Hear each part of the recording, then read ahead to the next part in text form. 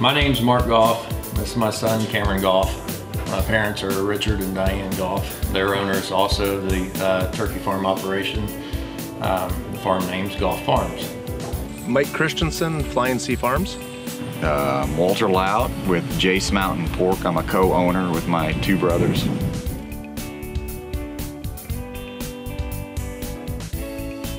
We raise turkeys. Um, at one time, our average uh, bird count on the farm is about uh, 30,000.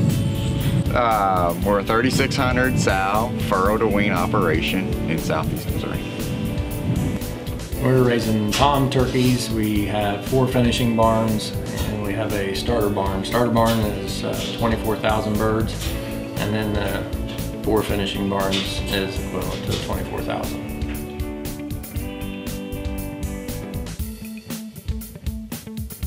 Um, Jace Mountain has been in production a little over two years, um, but we've been raising hogs in my family since the late 60s.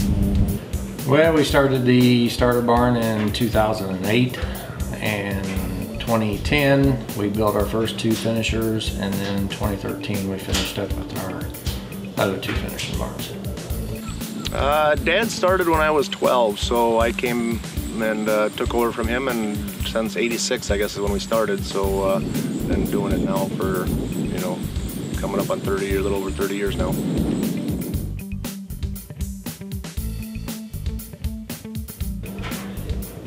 Oh, I don't know, down down in the teens. You know, we've been below that. Uh, but I'd say around the 20s and 30s is what we experience a lot during the winter time.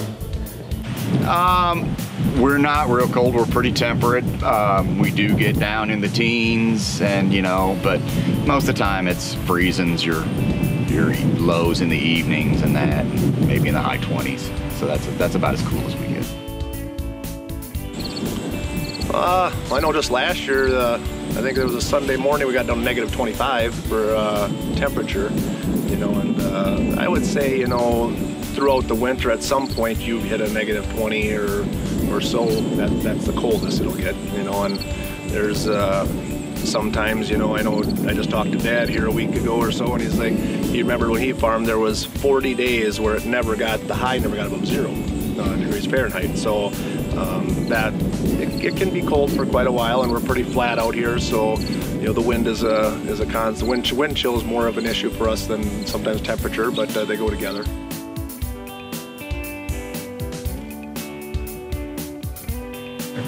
No, uh, it's it's rolled pretty well. It, it, slows down just a little bit. You know, I'm not going to say it's as consistent as, as in summer, but uh, nothing that's stopped production with it or stopped using it.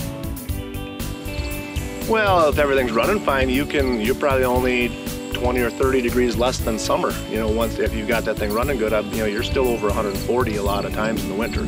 You know, it's when you start getting down to to 90 that if you don't catch that fast enough, that uh, she'll end up going down even farther. You know, I've had it when we first got it, you know, we've had it freeze up on us once, you know, to where she went down to 30 and we ended up getting it going again just by putting in because, uh, you know, animals, when you put the, the bird in there with the litter on the beginning and you let it set, it will start creating its own heat even without you doing anything.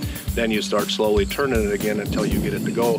She ended up coming out in the middle of winter. And we got it back up to temperature even after it got froze down one time. And uh, that was um, a, a, learning curve we started off with that first. So. Um, I was just, since I do not have my building up yet, I was glad we didn't have to deal with ice and a lot of snow. I could see where that would, you know, be a problem. But uh, no, we got along, we got along real good with it.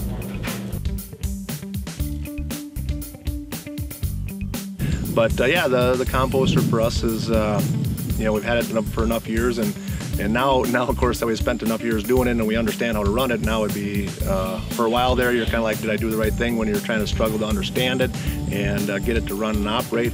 But now that we've got it running good, I, I don't think we'll ever get rid of it. I would, I would recommend it. Um, I guess we're, we've been happy with the decision we've made and um, there's just, it takes a while, but we're I'm going to refer back to the building and getting the, the roof over the top and um, with us having the ability to use the starter litter, I'm wanting to implement a couple conveyors to be able to add the litter to the drum. I would say that's probably the, the biggest thing is making sure we get the litter added to the drum and not make a mess out of it. We want to get that part of it cleaned up so it's easier for the employee ourselves. But uh, I'd highly recommend the drum. I think it does a good job. Oh, absolutely. We have people go through our farm, and that's when I do show them the Eco Drum if they're interested at all because it's, it's worked really well. I, I'm a big, the rotary composters are the only way to go.